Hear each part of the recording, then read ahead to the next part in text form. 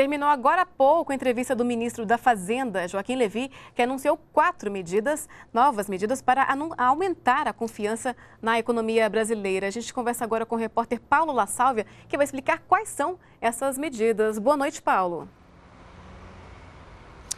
Boa noite, Aline. O ministro da Fazenda, Joaquim Levi, anunciou quatro medidas. Segundo o próprio Joaquim Levi, essas quatro medidas vão significar uma arrecadação extra para o governo federal em 2015, nesse ano, de 20 bilhões 630 milhões de reais. Então vamos às medidas. O imposto sobre produtos industrializados, ele passa a ser igual para toda a cadeia produtiva de cosméticos. Essa medida vale a partir de maio. Hoje, o industrial paga um IPI e o atacadista paga outro. A ideia é harmonizar a cobrança do IPI sobre toda a cadeia produtiva de cosméticos. Não vai ter impacto sobre os consumidores. A outra medida é em relação a PIS/COFINS sobre produtos importados. A alíquota passa de 9,25% para 11,75% ao ano. Também vale a partir de maio. A ideia também também é harmonizar a alíquota que é cobrada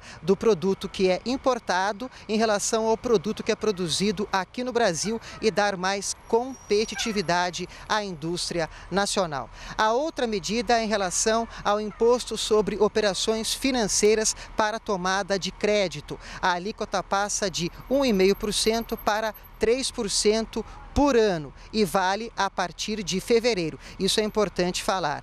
Esse IOF é cobrado quando o consumidor, por exemplo, vai a uma instituição financeira, vai a um banco e faz um empréstimo. Também é cobrada, no momento da tomada de crédito, uma alíquota de 0,38%. Essa não muda. E a última medida é em relação a PIS, COFINS e a CID, contribuição de intervenção sobre o domínio econômico. Essas duas alíquotas vão significar um aumento de 0,22 centavos sobre o litro da gasolina e de 15 centavos sobre o litro do diesel.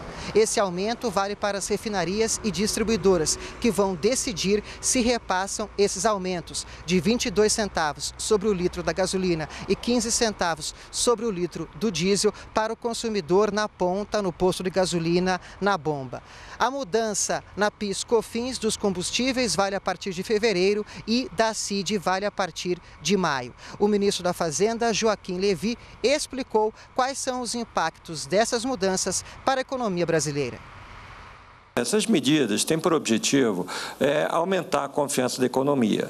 Se a gente for ver nas últimas semanas, é, particularmente exemplo, na questão dos juros e os juros mais longos, que são os juros que acabam influenciando o crédito, etc., né, a taxa diária que influencia o crédito, a gente tem visto uma relativa redução, né, aquela inclinação da curva tem diminuído. Então, eu diria que o principal efeito do conjunto das medidas é difícil você fazer o efeito de um, uma medida é, individualmente.